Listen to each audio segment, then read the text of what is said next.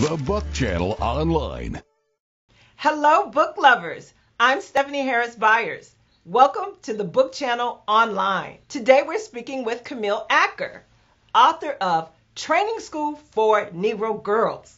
Welcome, Camille. Hi, thank you. The Book Channel Online is pleased to have you with us today to talk about your book. Well, it's a collection of short stories, um, all based in DC, which is my hometown, and um, all about young black girls or young women. I read it's a love letter to DC. It is. Uh, I had a wonderful growing up in DC. Um, I think it's a really interesting um, the fact that you know for a long time it was predominantly black city, um, but that in terms of intersections of class, obviously DC being a seat of power, um, but you know lots of ordinary people living their lives there.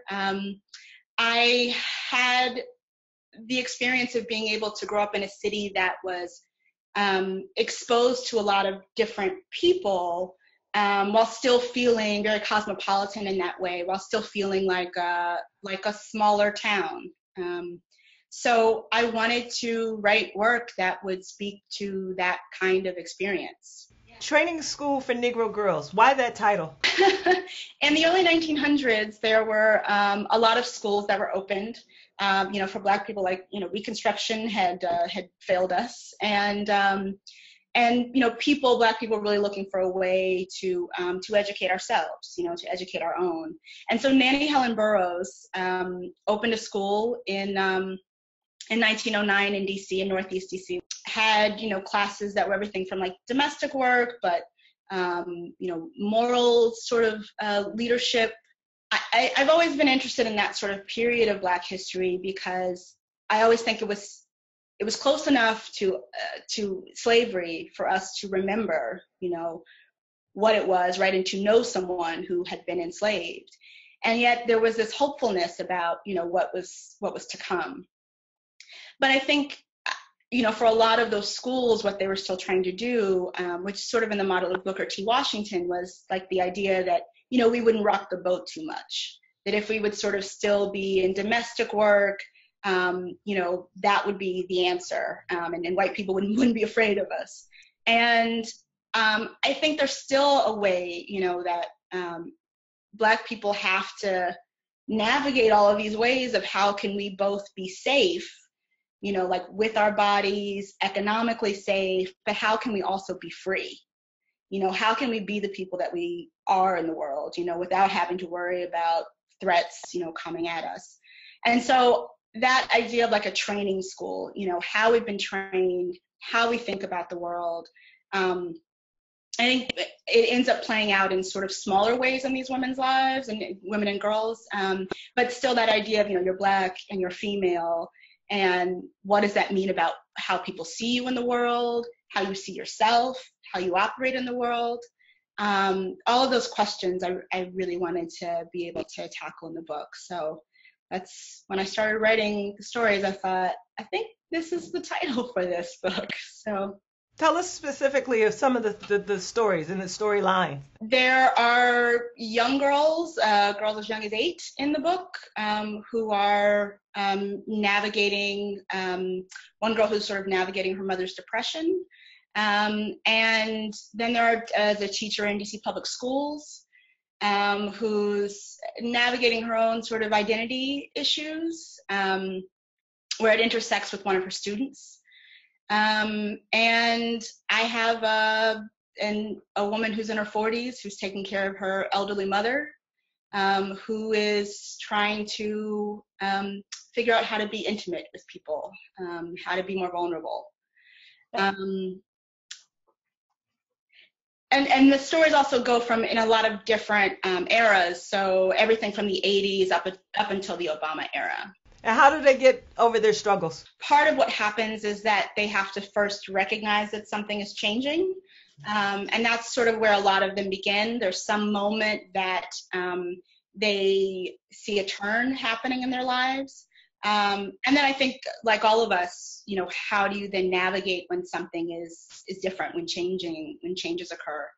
Um, so they I think ultimately you sort of rise to the occasion of of those changes. Um, but by no means are there sort of easy solutions or easy answers to um, to those navigations, to those new things happening to them. So um, I think they try to do it, most of them with some humor and some grace. Um, and then some of them navigate it with anger um, and trying to find their way out of that into um, to being more of who they are. Choose one to, to tell us the storyline. Sure. So there's one I have about a, a TSA agent um, who is really looking for that job to um, change her life and change the life. She's a single mother um, living with her own mother. Um, and she's wanting being a TSA agent to sort of um, you know, get them into their own apartment, to provide this kind of stability for her. Um, she's very invested in how people see her.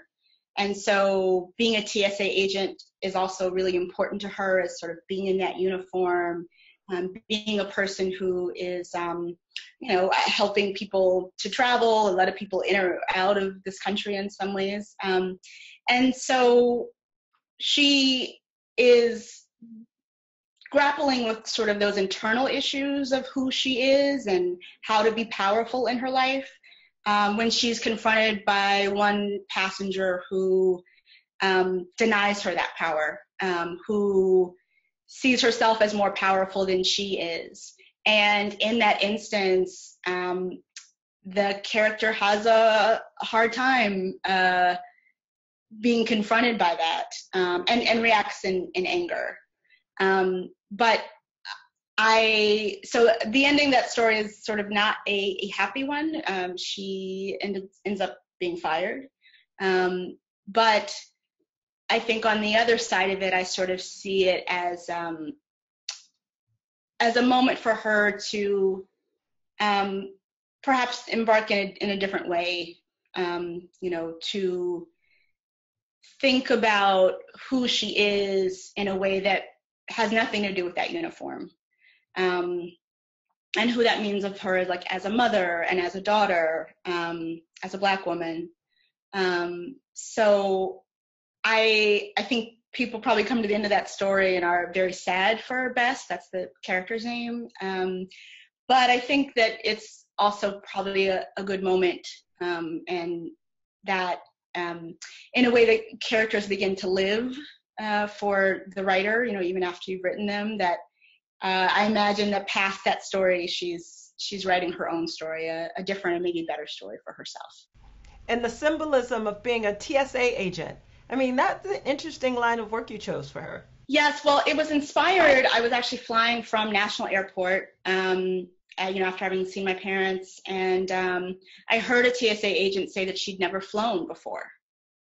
And I was so struck by that, like, you know, here in this job, right, that that's what, you know, you're guiding people on their flights, but that you'd never flown before. And so I started thinking about that. And um, truly, uh, that story I probably wrote um, the fastest of all the stories that are in the collection. I, I wrote it in like three hours. And I just heard Bess's voice so strongly um, after hearing that remark that I um, she just really took on a life of her own. Um, and and that's this is the story that I ended up writing. Well, I want to say thank you, Camille. Thank you so much. This was wonderful. We really appreciate you taking the time, and we want to wish you continued success with your writing. And thank you for watching the Book Channel online. You can buy Training School for Negro Girls on QBR.com through our affiliate partnership with Amazon. I am Stephanie Harris Byers. Watch us on YouTube, follow us on Facebook, Instagram, and Twitter. As the pages turn, we'll see you next time on the Book Channel Online.